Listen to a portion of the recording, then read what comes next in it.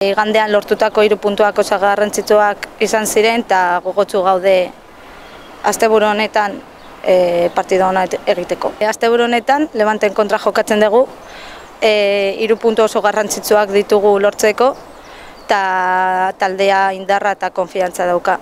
Aldegu kopa egon, e, talde honek indarra eta, eta konfiantza dauka horre hor egoteko eta nire ustez egongo garela.